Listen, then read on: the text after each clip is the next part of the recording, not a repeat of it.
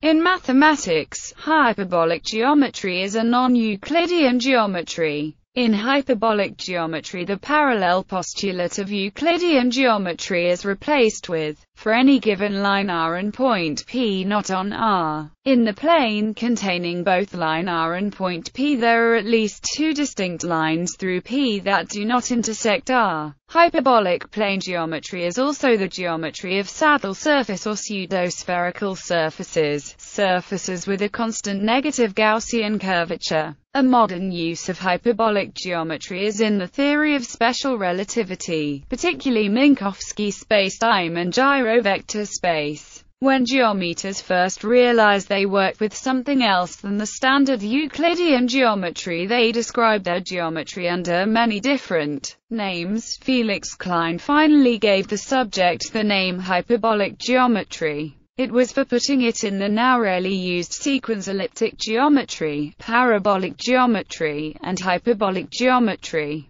In Russia it is commonly called Lobachevskian geometry after one of its discoverers, the Russian geometer Nikolai Lobachevsky. This page is mainly about the two-dimensional or plane hyperbolic geometry and the differences and similarities between Euclidean and hyperbolic geometry. Hyperbolic geometry can be extended to three and more dimensions. See hyperbolic space for more on the three and higher dimensional cases. Properties Relation to Euclidean geometry Hyperbolic geometry is more closely related to Euclidean geometry than it seems. The only axiomatic difference is the parallel postulate. When the parallel postulate is removed from Euclidean geometry the resulting geometry is absolute geometry. There are two kinds of absolute geometry, Euclidean and hyperbolic. All theorems of absolute geometry, including the first 28 propositions of Book 1 of Euclid's Elements are valid in Euclidean and hyperbolic geometry.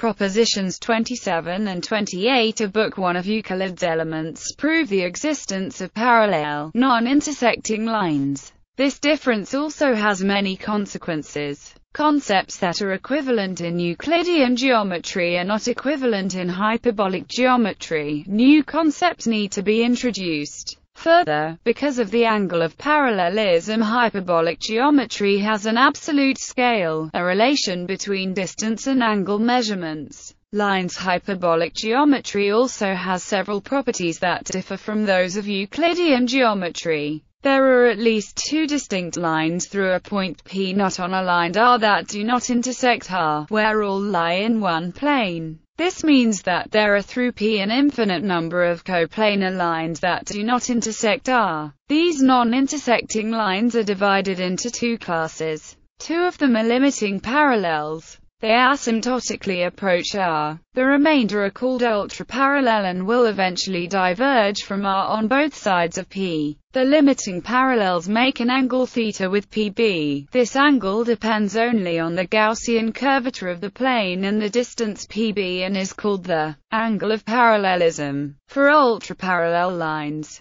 the ultraparallel theorem states that there is a unique line in the hyperbolic plane that is perpendicular to each pair of ultraparallel lines. In hyperbolic geometry, there is no line that remains equidistant from another. Instead, the points that have all the same orthogonal distance from a given line are on a curve called a hypercycle. Circles and disks in hyperbolic geometry, the circumference of a circle of radius r is greater than let, where is the Gaussian curvature of the plane. Then the circumference of a circle of radius r is equal to, and the area of the enclosed disk is hypercycles and horocycles in hyperbolic geometry, there is no line that remains equidistant from another. Instead, the points that have all the same orthogonal distance from a given line are on a curve called a hypercycle. Another special curve is the horocycle, a curve whose normal radii are limiting parallel to each other. Through every pair of points there are two horocycles.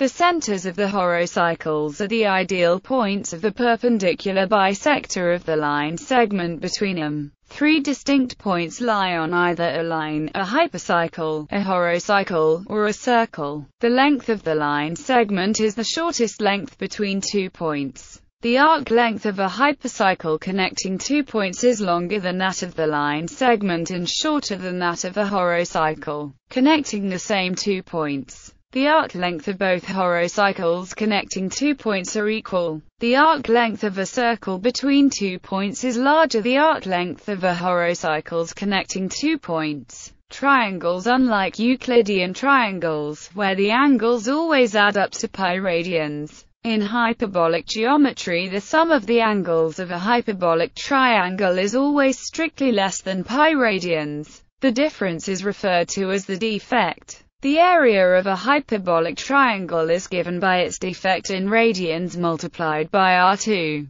As a consequence, all hyperbolic triangles have an area that is less than R2 pi. The area of a hyperbolic ideal triangle in which all three angles are 0 degrees is equal to this maximum. As in Euclidean geometry, each hyperbolic triangle has an inscribed circle. In hyperbolic geometry, if its vertices lie on an horocycle or hypercycle, a triangle has no circumscribed circle. As in spherical and elliptical geometry, in hyperbolic geometry the only similar triangles are congruent triangles. Standardized Gaussian curvature Though hyperbolic geometry applies for any surface with a constant negative Gaussian curvature, it is usual to assume a scale in which the curvature k is minus 1. This results in some formulas becoming simpler. Some examples are, the area of a triangle is equal to its angle defect in radians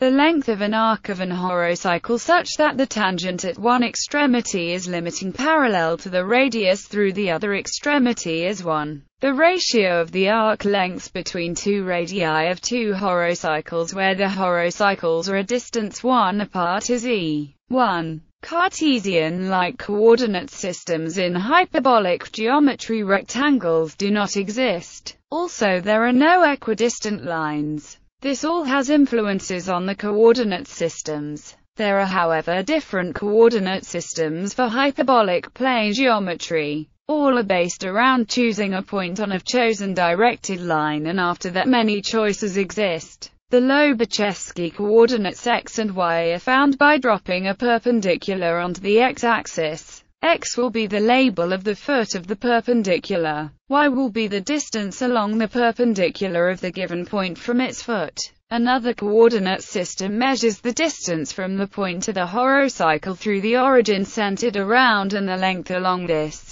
horocycle. Other coordinate systems use the Klein model or the Poincare disk model described below, and take the Euclidean coordinates as hyperbolic distance construct a Cartesian-like coordinate system as follows. Choose a line in the hyperbolic plane and label the points on it by their distance from an origin point on the x-axis.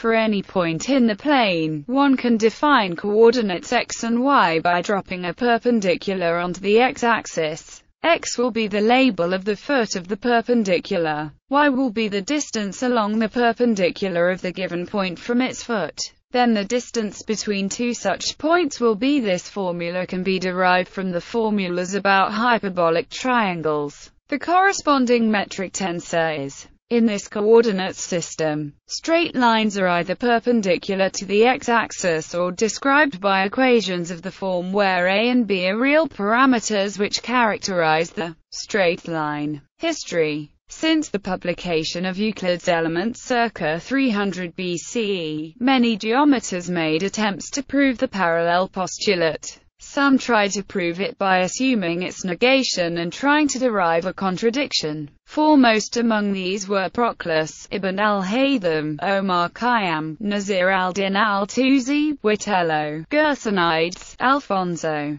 and later Giovanni Girolamo Saccheri, John Wallis, Johann Heinrich Lambert, and Legendre. Their attempts were doomed to failure, but their efforts led to the discovery of hyperbolic geometry. The theorems of Al-Hasan, Khayyam and Al-Tusi on quadrilaterals, including the Ibn al-Haytham Lambert quadrilateral and Khayyam Saccheri quadrilateral, were the first theorems on hyperbolic geometry. Their works on hyperbolic geometry had a considerable influence on its development among later European geometers, including Witello, Gersonides, Alfonso, John Wallis and Saccheri. In the 18th century, Johann Heinrich Lambert introduced the hyperbolic functions and computed the area of a hyperbolic triangle. 19th century developments In the 19th century, hyperbolic geometry was explored extensively by Janos Bolyai, Nikolai Ivanovich Lobachevsky and Carl Friedrich Gauss.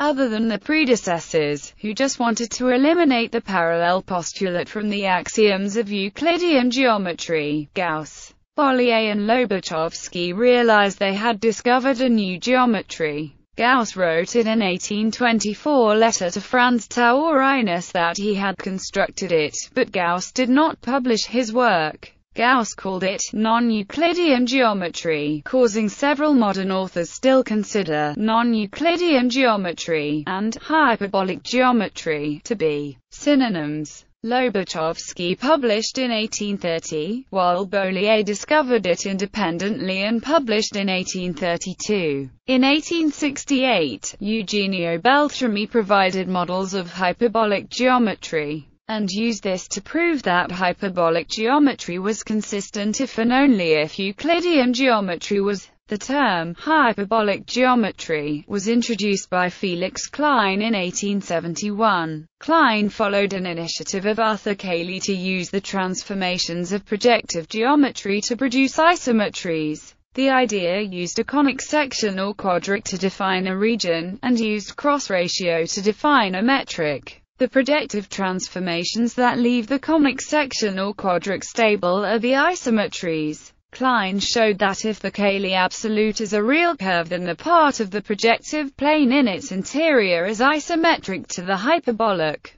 plane. For more history, see article on non-Euclidean geometry, and the references Coxeter and Milnor. Philosophical consequences The discovery of hyperbolic geometry had important philosophical consequences. Before its discovery many philosophers viewed philosophical rigor in terms of the geometrical method, referring to the method of reasoning used in Euclid's Elements. Kant in the Critique of Pure Reason came to the conclusion that space and time are not discovered by humans as objective features of the world, but are part of an unavoidable systematic framework for organizing our experiences. It is said that Gauss did not publish anything about hyperbolic geometry out of fear of the uproar of the Boeotians which would ruin his status as Princeps Mathematicorum. The uproar of the Boeotians came and went, and gave an impetus to great improvements in mathematical rigor, analytical philosophy and logic. Hyperbolic geometry was finally proved consistent and is therefore another valid geometry